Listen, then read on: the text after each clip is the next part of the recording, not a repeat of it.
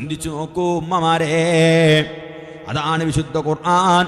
നമ്മൾ ഓരോരുത്തരെയും കബറിലേക്ക് മണ്ണെടുത്തെറിയുമ്പോൾ നമ്മൾ പറയുന്നു അതേ ഉപ്പമാർ ഉമ്മമാര് ഗർഭിക്കാൻ നമ്മളൊക്കെ മണ്ണിലേക്ക് ഇറക്കി വെക്കുമ്പോ നമ്മളെ ഉപ്പമാരും മക്കളും നാട്ടുകാരും മണ്ണെറിയുമ്പോ പറയാണ് മിന്നാഹലക്കുനാക്കും വഫീഹാ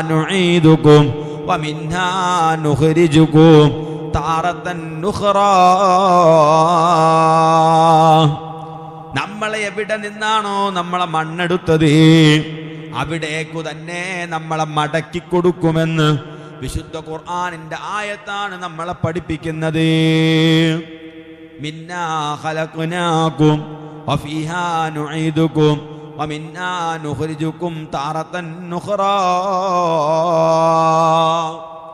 സുബ്ഹാനല്ലാ. ഇങ്ങനെ മരണം എപ്പോൾ എവിടെ വെച്ചാണ് വരിക എന്ന് നമുക്കറിയില്ല. എന്നാൽ ചില മഹാന്മാർക്കറിയാമെന്നും നമ്മൾ പറഞ്ഞുപോയി. ഇനി പ്രിയപ്പെട്ട മുഗ്മിനിങ്ങളെ എന്തിനാണ് നമ്മൾ ഇടയ്ക്കിടയ്ക്ക് ഈ മരണത്തെക്കുറിച്ച് സംസാരിക്കുന്നത്? എന്തിനു വേണ്ടിയാണ് ഇടയ്ക്കിടയ്ക്ക് നമ്മൾ മരണത്തെക്കുറിച്ച് ഓർമ്മപ്പെടുത്തുന്നത്? ബഹുമാനപ്പെട്ട റളിയല്ലാഹു അൻഹു പറയുകയാണ് ഇടയ്ക്കിടെ മരണത്തെക്കുറിച്ച് നമ്മൾ ഇങ്ങനെ ഓർത്താൽ നമുക്ക് തൗബയെ ഉളരിപ്പിക്കാം. തുടക്കത്തിൽ തന്നെ ഞാൻ സാദി ഉസ്താദിന്റെ മരണം ഓർമ്മപ്പെടുത്തിയത്. ആ ഉസ്താദ് വീട്ടിൽ നിന്ന് മറങ്ങി വരും- വരുമ്പോൾ ആരത്രീക ലോകം എങ്ങനെയായിരിക്കും? എന്റെ തെറ്റുകുറ്റങ്ങളൊക്കെ എനിക്ക് മാപ്പരക്കാൻ കഴിയുമോ? റബ്ബിനോട് എനിക്ക് മാപ്പപേക്ഷിക്കാൻ കഴിയുമോ? ഈ ഒരു ബോധം നമ്മളെ മനസ്സിലുണ്ടായാൽ നമ്മൾ തൗബയെ വേഗത്തിൽ ഉളരിപ്പിക്കും. ഒരു തെറ്റ് ചെയ്താൽ ഉടനെ നമ്മൾ അതിന്റെ പുറമെ സൽക്കർമ്മം ചെയ്യും. വേണ്ടാത്തരങ്ങൾ എന്തെങ്കിലും ഒന്ന് പ്രവർത്തിച്ചാൽ ഒരു വക്ക് നിസ്കാരം അറിയാതെ എങ്ങാനും കഥ ആയി പോയാൽ ഉടനെ ആ നിസ്കാരം കലാ വീട്ടിയിട്ട് അള്ളാഹുവിനോട് കരഞ്ഞുകൊണ്ട് പറയും അല്ലാ എന്റെ നിസ്കാരം ഞാൻ ഞാനിതാ കലാ വീട്ടിയിട്ടുണ്ട്. നീ എനിക്ക് മാപ്പ് തരണേ റബ്ബേ. നേരെ മറിച്ച് ഇനിയും എനിക്ക് ഒരുപാട് കാലം ജീവിക്കാനുണ്ടെന്ന് ചിന്തിച്ചാലോ? അത് നാളെ വീട്ടാം മറ്റന്നാൾ വീട്ടാം. അല്ലെങ്കിൽ ഇനിയും സമയമുണ്ടല്ലോ എന്ന ചിന്തയാണ് നമ്മുടെ മനസ്സിലേക്ക് വരുന്നത്. റമദാനിൽ നോമ്പ് നഷ്ടപ്പെട്ടു പോയ ആളുകൾ ഇനി കേവലം മൂന്ന് മാസമാണ് നമ്മളെ മുൻപിലുള്ളത്. റമദാനു ശരീപിത വിളിപ്പാടകലയെത്തി നിൽക്കുന്നു. ഉമ്മമാരെ എന്തെങ്കിലും കാരണം കൊണ്ട് ഏതെങ്കിലും നോമ്പെടുക്കാൻ പറ്റാത്ത സാഹചര്യം കൊണ്ട് നോമ്പ് നഷ്ടപ്പെട്ടു പോയിട്ടുണ്ടെങ്കിൽ ആ നോമ്പ് ഉടനെ കലാവ് വിട്ടു. ഞാൻ എപ്പ വേണമെങ്കിലും മരിക്കാമെന്ന ചിന്ത എന്റെ മനസ്സിലുണ്ടെങ്കിൽ ആ മരണം എന്നെ തേടി വരുമെന്ന് പ്രതീക്ഷിച്ചുകൊണ്ട് അവൻ തൗബക്ക് ഉളരുന്നു. പെട്ടെന്ന് അള്ളാഹുവിനോട് കാവലിനെ തേടുന്നു. ഹബീബ് അഷ്റഫുൽ മുഹമ്മദ് റസൂലുള്ള. അലൈഹി വസല്ലം പഠിപ്പിക്കുകയാണ്. ഇമാം റളിയല്ലാഹു അൻഹു പറയാണ് അപ്പൊ മരണസ്മരണ ഒരാളെ മനസ്സിലുണ്ടായാൽ അയാൾ തൗബയിലേക്ക് വേഗം മുളരും കാരണം നമ്മൾ പേടിക്കാനൊന്നുമില്ല. നമ്മളെ റബ്ബ് ഗഫൂർ റഹീമാണ്. അവൻ നമ്മളെ സ്വീകരിക്കാൻ വേണ്ടി കാത്തു നിൽക്കുന്നവനാണ്. നമ്മൾ രക്ഷപ്പെടുത്തുമെന്ന പ്രതീക്ഷയിലാണ്.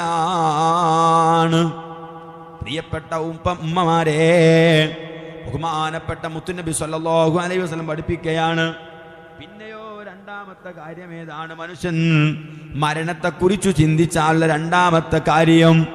ഹൃദയത്തിന് സംതൃപ്തി വരുന്നു. എന്ത് കിട്ടിയാലും നമുക്ക് സംതൃപ്തിയില്ല. നമുക്കതാ ഒരു ഡ്രസ്സ് വാങ്ങിയാൽ ആ ഡ്രസ്സ് ഒരു നാലു പ്രാവശ്യം ഇടുമ്പോഴേക്ക് നമുക്ക് മനസ്സിൽ സംതൃപ്തി നഷ്ടപ്പെടുന്നു. ഒരു ഡ്രസ്സ് വാങ്ങിയാൽ നമ്മൾ ഉദ്ദേശിച്ച പോലെയായില്ലെങ്കിൽ പിന്നെ നമുക്ക് ആ ഡ്രസ്സ് ധരിക്കുമ്പോൾ സംതൃപ്തിയില്ല മനസ്സിന് സമാധാനമില്ല. നേരെ മറിച്ചോ എന്റെ ഈ ശരീരം മരിച്ചു പോകാനുള്ള ശരീരമാണെന്നൊരാൾക്ക് ബോധമുണ്ടെങ്കിൽ ഈ പ്രസംഗിക്കുന്ന എനിക്ക് ബോധമുണ്ടെങ്കിൽ പിന്നെ എനിക്ക് എന്തു കിട്ടിയാലും ഞാൻ സംതൃപ്തനാണ്. ഇത് മരിച്ചു പോകാനുള്ള ശരീരമല്ലേ? എന്ന ചിന്ത എന്റെ മനസ്സിലേക്ക് വന്നാൽ പിന്നെ എനിക്കൊരു പേടിയില്ല ഒരു സമാധാനക്കേടുമില്ല. നമ്മൾ ഒരാൾ ചീത്ത പറഞ്ഞു. നമ്മൾ ഒരാൾ പരിഹസിച്ചു.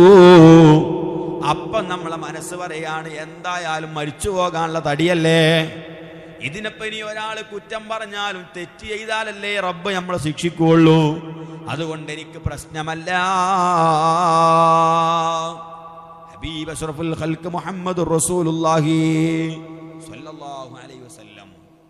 എത്ര നല്ലൊരു വാചക ഉപയോഗിച്ച് നോക്കി നിങ്ങൾ മരണത്തെക്കുറിച്ച് ഒരാൾ ഓർക്കുകയാണെങ്കിൽ അവന് മനസ്സിൽ സംതൃപ്തി ഉണ്ടാകും. സുബാനല്ല നല്ലൊരു ഡ്രസ്സ്. ആ ഡ്രസ്സിന് സംതൃപ്തി ഉണ്ടാകണമെങ്കിൽ പടച്ചോനെ എനിക്ക് ഞാൻ മരിച്ചു പോകുമ്പോൾ കൊണ്ടുപോകാനുള്ളത് ആകെ മൂന്ന് കഫം കൂടെയല്ലേ എന്ന് നമ്മൾ മനസ്സിൽ ചിന്തിച്ചാൽ പിന്നെ കിട്ടുന്ന ഏത് കീറ കഷ്ണമാണെങ്കിലും എത്ര വില കുറഞ്ഞതാണെങ്കിലും നമുക്ക് പേടിയില്ല. ഒരു ഭയം ഉണ്ടാകൂല. ഒരു സമാധാനക്കുറവുണ്ടാകൂല. കാരണം നമ്മുടെ ലക്ഷ്യം പാരത്രികമായ ലോകത്തേക്കുള്ള വിജയമാണ്. അതിനുവേണ്ടി അധ്വാനിക്കുമ്പോൾ പ്രയാസങ്ങൾ ഒരുപാടുണ്ടാകും. ആ പ്രയാസങ്ങളെ തരണം ചെയ്യാൻ നമുക്ക് സാധിക്കണം.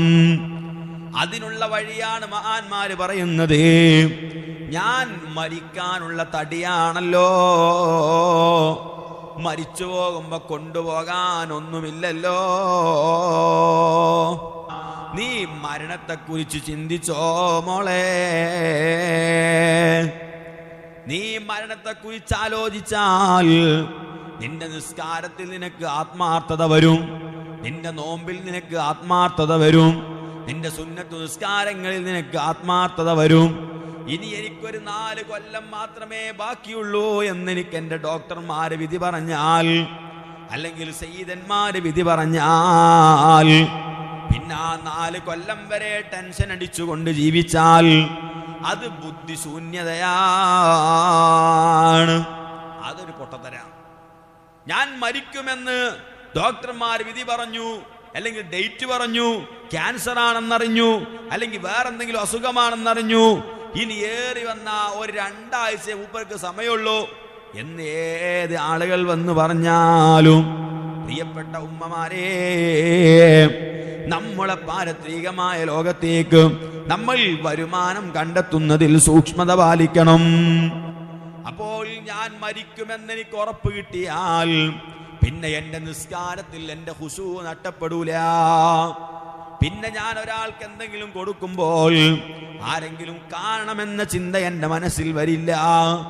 യഥാർത്ഥത്തിൽ നമ്മൾ മനസ്സറിഞ്ഞുകൊണ്ട് അള്ളാഹുവിനെ സ്നേഹിച്ചാൽ നമ്മൾക്ക് യാതൊരു മനസ്സിന് പ്രയാസങ്ങളും വരില്ല.